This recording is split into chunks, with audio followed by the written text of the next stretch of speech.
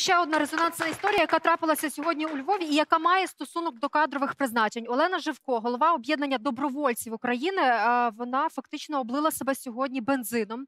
Давайте спершу Олена Живко є з нами на скайпі, але давайте спершу включимо відео, як це відбувалося, аби просто наші глядачі також розуміли.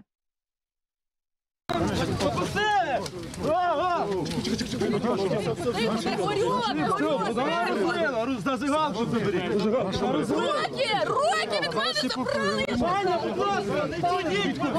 Поліцію дайте!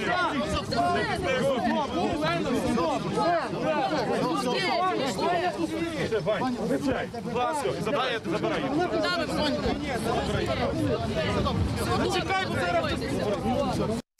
Це відбулося в знак протесту на дії правоохоронних органів, зокрема Львівської обласної національного відділення поліції і пана Віконського, який очолює це відомство. Пані Олено, доброго вечора вам. Розкажіть нам, в чому полягає тиск правоохоронців на вас. Ну і ви вже написали в себе в Фейсбуці, що з понеділка оголошуєте голодування. Де ви будете голодувати? Як це буде виглядати? І ну чому така реакція ваша на це все?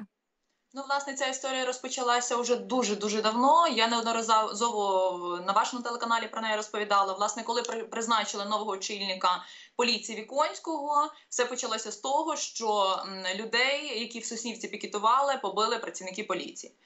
Після цього ми почали піднімати це питання. Також в цей період ми активно пікетували е, Андрія Садового за усю його діяльність, яка нам, добровольцям, не подобається і не підходить. І за дивним збігом обставин кожного разу після того, як я пікетувала е, садового, працівники поліції навідувалися з обшуком до моїх братів, тобто не до одного брата, до кількох, до е, батьків. І постійно натякали на те, що якщо ваша білявка не заспокоїться, тобто ми будемо навідуватися знову. Після цього я пішла до Василя Віконського особисто в кабінет і питаю, в чому ситуація, які до мене претензії, і чому взагалі переслідують мою родину за те, що я роблю якісь певні акції. На що він мені відповів, що якщо буде потрібно, то вони посадять навіть мою маму. Про це я сказала в ефірі вашого телеканалу, тому що ви знаєте, свою діяльність я проводжу з 2004 року. Тобто, е, навіть за часів Януковича ніколи в житті мені не погрожували тим, що буде якась розправа з моїми батьками. Тобто, ця вся історія дуже довго тягнулася. Е, ви знаєте, після оцих скандалів, після виступів на вашому телеканалі, до мене прийшов працівник Шевченківського райвідділу поліції в штаб для того, щоб допитати мене по справі, яка вже закрита, яку на нас закрива відкривав Віконський на нашу організацію, але вона закрита за відсутністю складу злочину. Після його приходу я потрапила з важким станом до лікарні, де провела близько п'яти місяців. Е, Дуже у мене був важкий стан, ніхто не міг встановити діагноз. Е, Коли лікарі сказали, що вони знають, що в мене в печінці не встановлена рідина, вони припускають, що мене отруїли. Про це я заговорила також на багатьох телеканалах. Е, Однак жодної реакції поліції немає.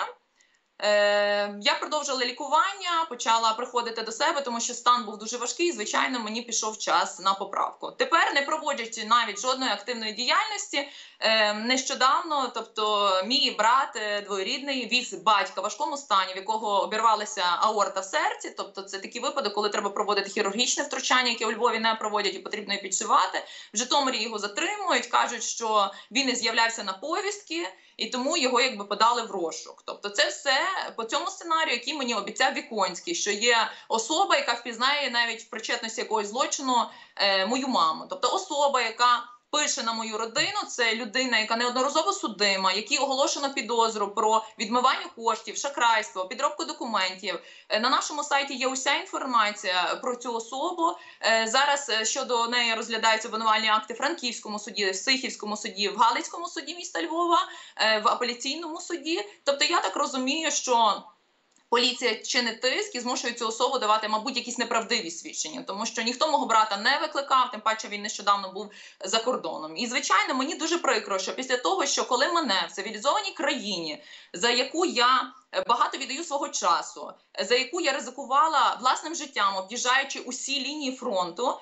е, Мене мало не вбила діюча влада, тобто тому, що працівник поліції зайшов, підлив мені невідому речовину в каву і зник. Його, не відкриваючи кримінального провадження, чомусь звільнили з лав поліції. Тобто, якщо він цього не робив, немає відкритого кримінального провадження, так за що ви безневинну людину тоді звільняєте? Правильно погодьтеся. І звичайно, що е, у мене вже обурення, тому що постійно моя бабуся питає дитину, чому обшуки усієї нашої сім'ї. Е, мій дідусь загинув в Соловках і там помер, але ніхто не тероризував навіть часи радянської влади усю мою родину. Тобто вони постійно мені створюють оці такі незручності. Розумієте? Тобто, уявіть, мені телефонує батько, питає Олена, що сталося? Його нічого не питають по справі, нічого не пред'являють, просто питають, що він з тобою спілкується. Пані Тобто, Олено, це я- злочин Я перепрошую, тепер- десь мусимо підсумовувати. Я перепрошую вас, перебуваю.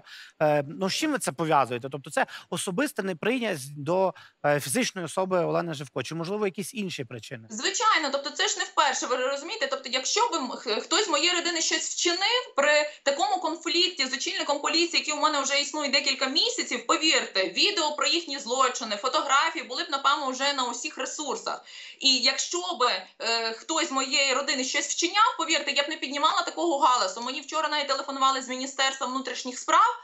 е, Намагається вникнути в ситуацію, тобто я навпаки, щоб цю ситуацію підняти публічно і доказати, що справа є надуманою і ніхто нічого не винен. І тому ем, е, ми допустили одну помилку. Уся громадськість Львова, що ми пробачили у цьому Беркутівську віконському, що він побив активістів, і він далі на, насправді своїми беркутівськими методами діє безнаказаними. Розумієте? От і все. Тобто він сьогодні буде вказувати громадськості, чи я маю пікетувати садового, чи я не маю пікетувати садового. Але не дивлячись ні на що, тобто я свою діяльність проводила і проводжу, і їхні методи абсолютно тут діяти не будуть. І звичайно, з понеділка я е, вдаюся до безстрокової акції протесту, щоб мене почули, щоб Зеленський, Аваков, інші люди звернули увагу, хоча б трішечки на це беззаконня, яке відбувається у нас у Львові, якого не було ніколи. Тобто я адвокат.